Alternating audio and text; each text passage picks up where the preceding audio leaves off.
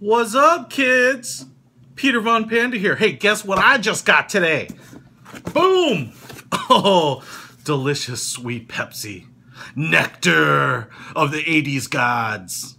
But this is no ordinary Pepsi. As you can see, it comes in this awesome box, and it says right there, October 21st, 2015. Yes, this is in fact the Back to the Future 2 limited edition special Pepsi bottle.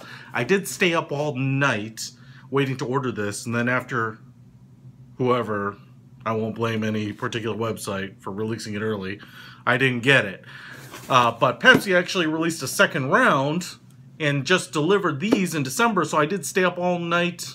Well, I didn't stay up all night because I did it at 8 a.m., but I got up early and got mine that way. So I believe there are now 6,500 bottles of these things out in the wild.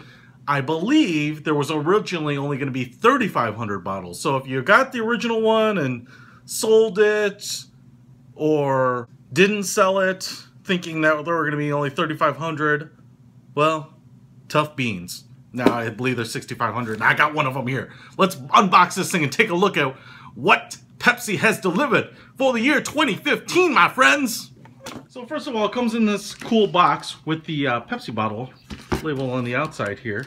Stands about a foot tall and probably nine inches square depth and width. I know there are some people out there trying to sell the box alone. I'm not sure why you'd want that, but and then inside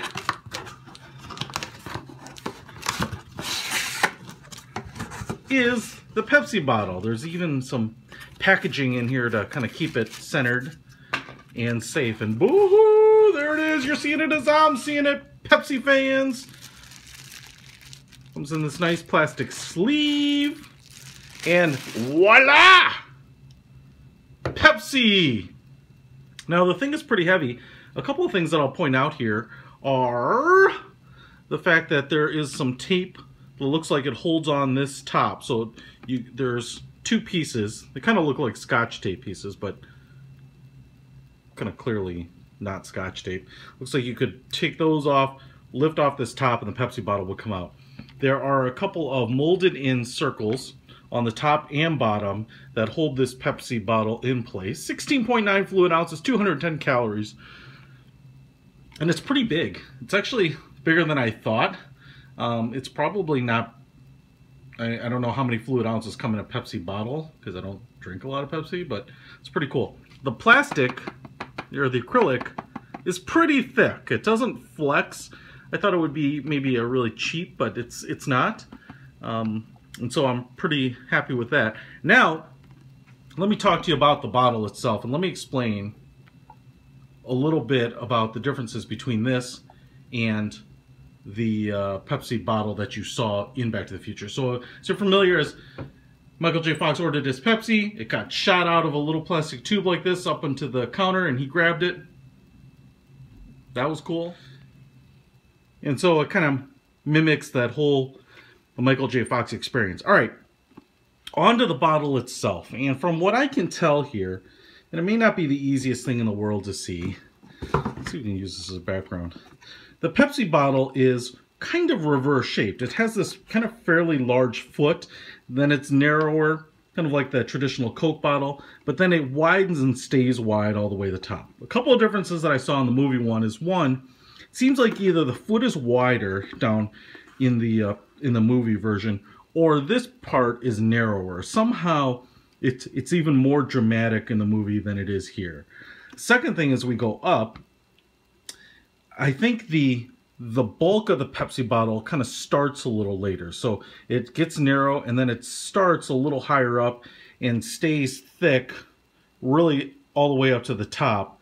But this is just a little bit more subtle of a kind of a, a, a Coke bottle shape.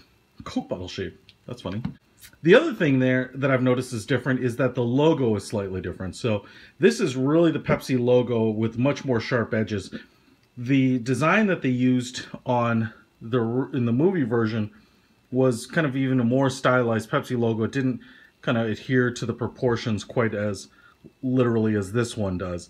The other thing here is Pepsi is actually in the same font, but Perfect was much wider and went along the entire bottom. It's kind of the same width as the Pepsi name itself and almost was the same size. So I'm not sure why Pepsi downplayed the perfect on this a little bit, but they did. The other thing I noticed is that I think the label was bigger. And this may not be a label at all, actually. I'm kind of looking at it, and it looks like it is painted on. So I don't see an obvious label, um, you know, telltale signs, but it, it, seems like it's inked on or painted on, just like kind of a regular Coca-Cola bottle, Pepsi bottle, cola bottle. So again, like I said, I think the, the label though is bigger in the movie version and it's higher up. In fact, the top of the portion, top portion of the circle in the movie is basically touching the bottom of the cap here. The other thing is, I think the cap here is a little lighter and less metallic. It really seemed like an anodized aluminum color in the movie. More probably automotive metallic paint. And this is blue, but there's no like metal flake. It's it's just kind of like the color of a Duplicolor spray can. Pretty close in, in good work, but it just, it, it's not a, there's no color applied to it. It looks like the plastic is this color. Then the last thing I'll point out here is from the movie version. I think the cap, one, because like I said, it started getting wider later and stayed wide all the way to the top. Either the cap was wider or it was shorter. E either way, you kind of get the same effect, but it seemed broader in the movie version than this does. It seems a little more narrow, a little more toned down.